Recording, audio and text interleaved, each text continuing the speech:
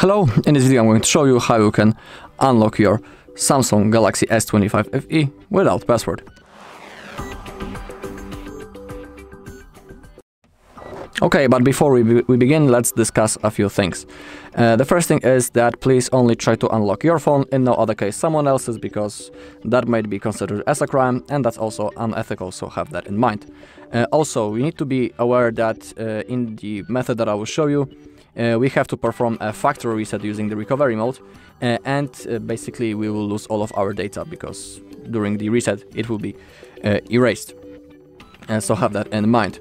Uh, if you don't want to lose all of your data, you can always try to go into the authorized center with the proof of purchase and there look for help. Also, I will tell you that in the method that we are going to perform in this video, we have unlocked a lot of phones. You can mm, also see other videos on mm, Hard Reset Info channel and on our page. Mm, okay, and the last thing is uh, that um, we will see it also in recovery mode, uh, but the phone, mm, even after the reset using the uh, recovery mode, uh, after it will be turned on after the reset, we will be in the setup process, and during the setup process, the phone will want you to uh, log in into the Google account on which you were logged in before the reset. Uh, that's uh, the confirmation um, that the phone wants you to um, to give um, to uh, confirm that uh, you were uh, the user. If you don't remember on which Google account you were logged in, you can perform um, a bypass. You can bypass this Google verification.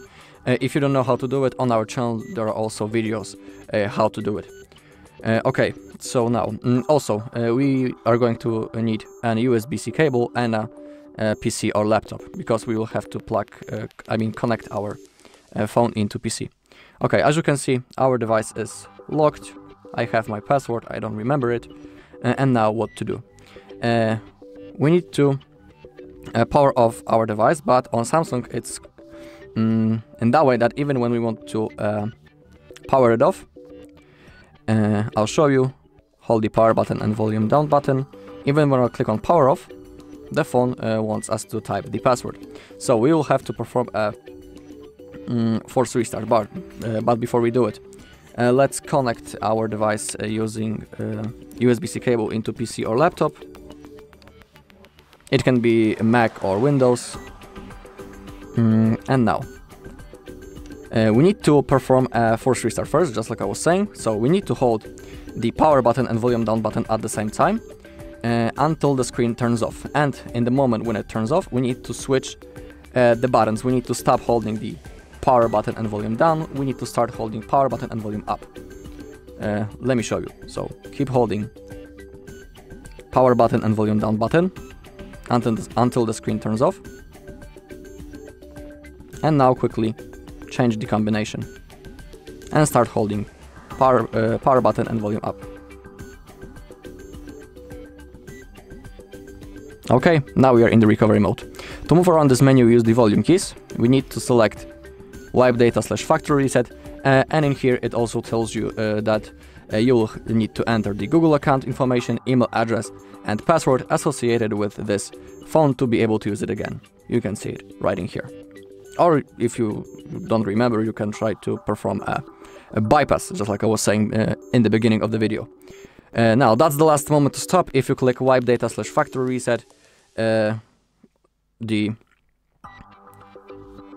the process of erasing our data will begin. So that's the last moment to stop.